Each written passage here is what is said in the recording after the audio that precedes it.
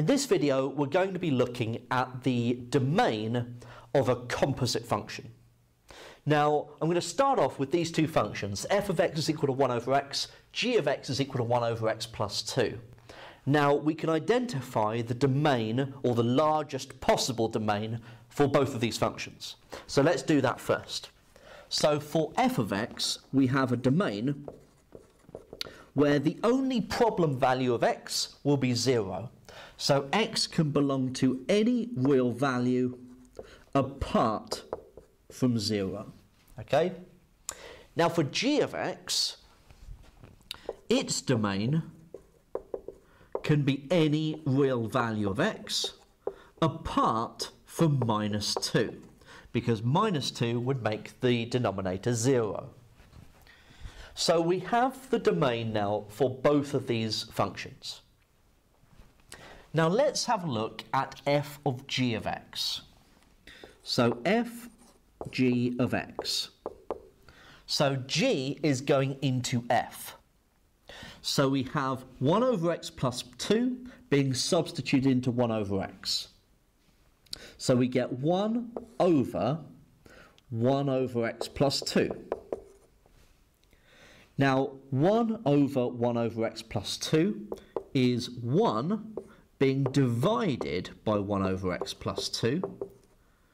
And 1 divided by x, 1 over x plus 2 is the same as 1 times x plus 2 over 1. And so we just get left with x plus 2. So fg of x is just x plus 2. Now the domain of this function, x plus 2, ordinarily would be, well, x could be anything. X could be any real value. However, although x can be any real value, the domain for this one, there is a problem. Because we're working with fg of x, g of x brought its own baggage, effectively g of x already had the problem that x couldn't be minus 2. So when g of x got put into f, it carried that restriction with it. And so now, although fg of x looks perfectly fine, as if there are no problems with the domain, it still has this x, it cannot be minus 2. This is because I couldn't substitute minus 2 into this because minus 2 didn't work for g of x.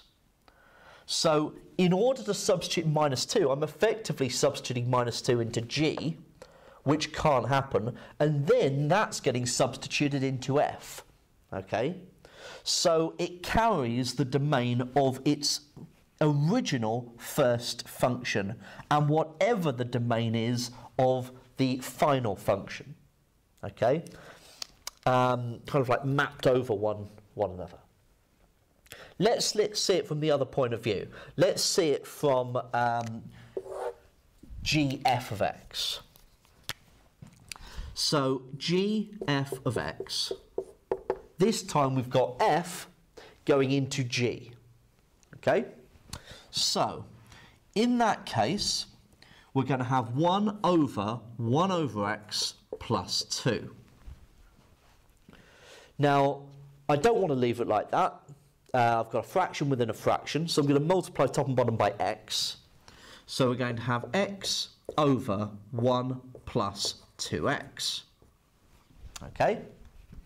Now, in this form, okay, I can look at the domain of this function. Now, the only values of x that are going to cause a problem are when that denominator is 0. And that's going to happen when x is minus 1 half. That's when I'm going to have 0 in the denominator. So x can be any real value apart from minus a half. Okay? However, f of x brought its own baggage. Okay? F of x was restricted because x could not be 0. So although I could go, well, what's g f of 0? Well, it's 0 over 1 plus 0, so that should just be 0. That seems fine. Although it seems to work fine there, because f of x, for f of x, x couldn't be 0, x can't be 0 here either. Okay, so I must have an added piece of the puzzle where x can't be either 0 or minus a half. 0 from the f of x, so whatever the domain was for f of x, and now whatever the domain is for gf of x. Okay, so in this case, the domain was whatever it was for g of x and whatever it is for fg of x. So it is the two domains effectively overlapping, okay, and all of the restrictions must be in place.